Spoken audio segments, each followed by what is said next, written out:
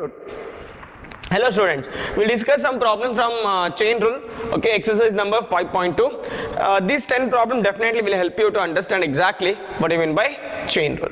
Uh, there are two methods, one method already, okay, you learned in the last modules or last, last videos where you took some examples after extending chain rule and the basic concepts, okay.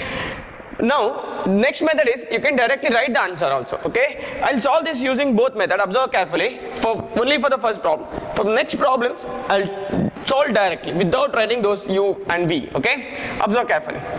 What if first method y is equal to sine u, u is equal to x square plus 5. You already saw six examples, so you know this. So dy by dx is equal to differentiation of sine u is cos u, differentiation of x square plus 5 is how much?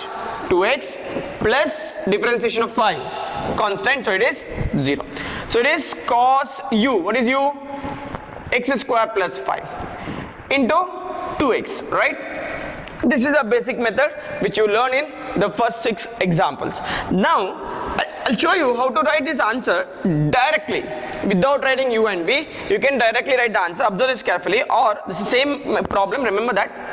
Sine of x square plus 5 you can write this answer in one step and you must practice that because you may not get time to write all this in exam. You must practice to write directly. Observe carefully. Dy by dx is equal to i'll tell you what is the logic used in this procedure what is the logic used in this particular procedure? See this procedure says that always start by I'll always start the differentiation by taking the outside function. Which is the outside function here? Sine. What is differentiation of sine? Cos. Just keep as it is. Whatever the inside sine write as it is without changing okay? Then this rule says that after differentiating outside function differentiate inside function. What is inside function? X square plus 5 what is differentiation of x square plus 5 2x plus 0 that is no need right? See? You can get in one step and I suggest or uh, you must follow okay this method only for the, all the problem because you may not get time to write all this in exam okay you must practice because maybe you will get this for one mark this much is not required directly you can keep the answer. Remaining nine question you are going to write answer in one step you are not going to write u and v remember that? Start. Dy by dx equal to see first you should practice I'll wait for a second. Yeah maybe you started? I'll write now check your answer. Which outside function? Cos. What is differentiation of cos minus sine. First write like this. What we have inside cos it is not simple x it is sine x. So it will come as it is. Don't differentiate and write just write as it is. Understood? Ha. Next word differentiation of inside function. What is the difference inside function? Sine x. What is the derivative of sine x? Cos x. Done. No bracket required finish. Don't write this as a minus sine square x into cos x. This is not there because this will not multiply. Sine of sine x. Remember that it is only minus of minus sine of sine x into cos x. I hope you understood? Yeah. Next. I hope you solved this already right? What is differentiation of sine? Cos as I told whatever there inside it it will come as it is. Then differentiate ax plus b. Remember a and b constant. In differentiation except x and y remaining all the English alphabets will be considered as a constant. Remember that. So a and b constant. What is differentiation of a into x? A into differentiation of x which is 1 so it is only a. Differentiation of b which is constant is 0 so what is the answer? Cos of ax plus b into a I hope you understood.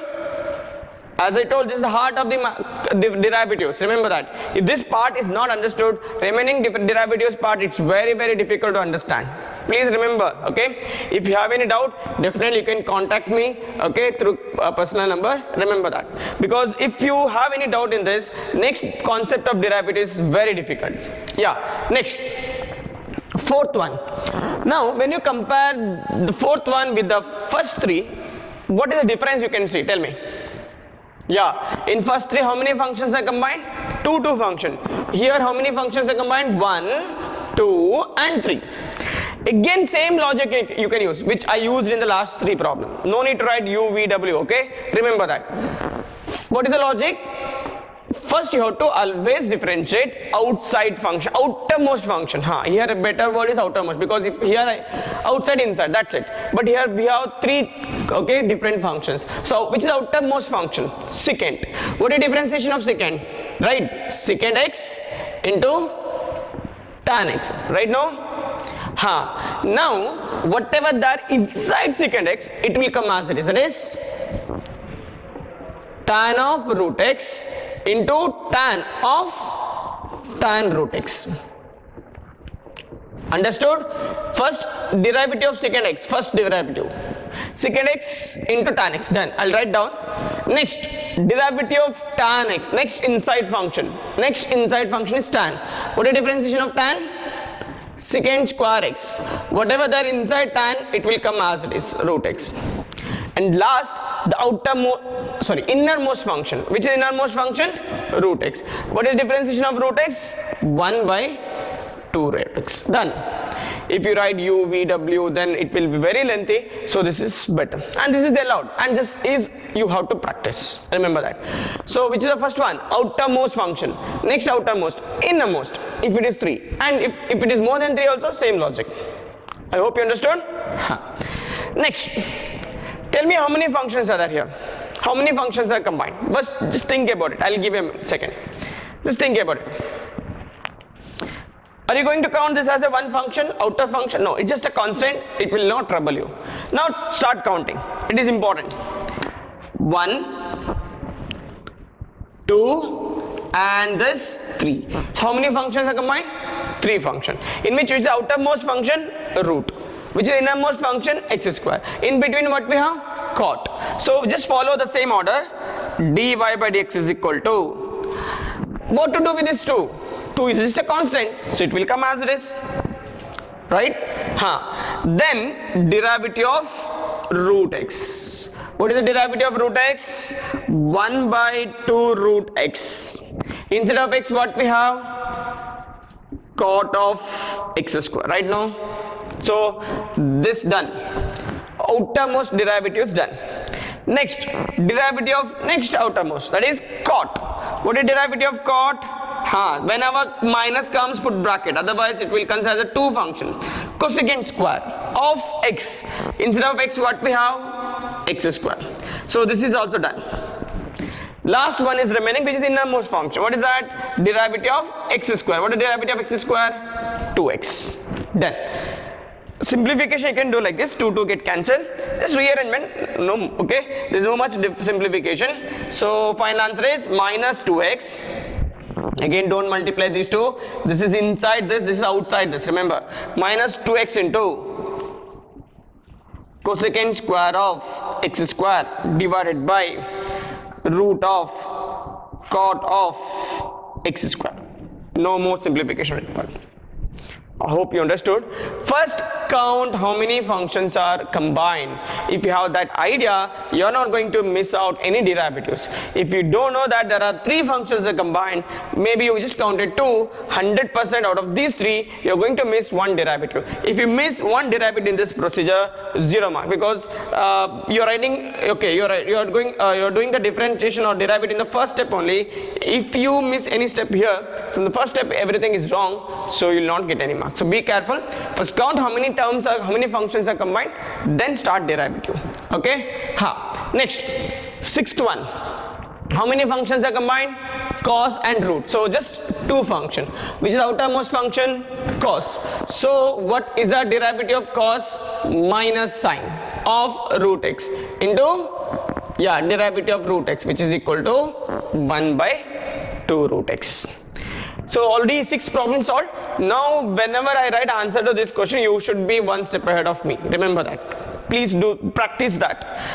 Before I write, you should write that step in your work, workbook. Okay? Huh. Next one. Huh, this is little difficult. Why this is difficult? Because product and composite both are there up to now up to now you just applied chain rule. Here product rule is required as well as chain rule is required. Observe this carefully. Now directly you can start differentiating nothing to worry. First which rule you should use? Tell me.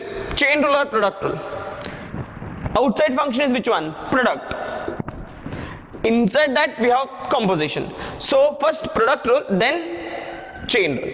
So what is the product rule? Remember this is u this full thing is u this full thing is v so what is the product rule u into that is cos of x cube into differentiation of sine square of x to the power 5 plus sine square of x to the power 5 divided by sorry into differentiation of cos of x cube. What we did now we just applied product rule differentiation not started. Remember that. Now it is equal to cos of x cube right? Sine square. Huh be careful here. Tell me how many functions are combined. Sine definitely you can see that. Square then x power 5 what is the order?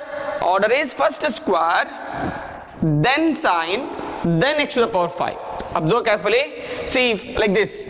Sine square of x to the power 5 is nothing but sine of x to the power 5 whole power 2 okay? Huh. so which outer outermost function?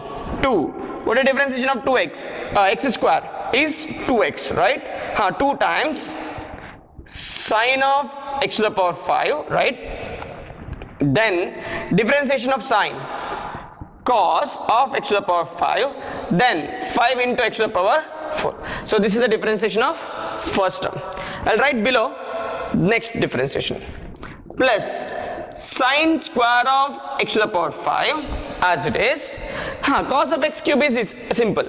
Outside cos inside x cube. That is minus sine of x cube into 3x square. That's it. No need to simplify. Don't worry. Where is the final answer? This will be the final answer I hope you understood. Cos of x cube 2 times sine of x to the power 5 into cos of x to the power 5 into 5x power 4 plus sine square of x to the power 5 will come as this minus sine of x cube into 3x square. In last question you first applied product rule then chain rule.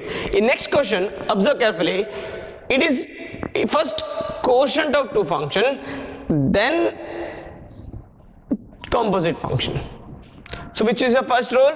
Quotient rule. I hope you remember quotient rule. Huh. So this problem you have to start by applying quotient rule first. dy by dx. What is the quotient rule? Cos square of cx plus d uv square v into derivative of u right what is derivative of sine of ax plus b using chain rule ha cos of ax plus b into into derivative of ax plus b. What is the derivative of ax plus b? A. Understood. Now chain rule i am applying. Remember differentiation of sine is cos. Deriv- derivative of ax plus b is b. Sorry a. Minus sine of ax plus b into. What is derivative of cos? Minus sine. So i'll make this plus i hope you understood into cos of cx plus d into c into c what is c that that c is nothing but derivative of cx plus d okay ha. so here maybe simplification is not possible just keep as it is this is enough don't worry about simplification because no- nowhere it is asked simplify. It is just asked find derivative. I hope you understood. Ha. Next question. Last two problem from chain rule.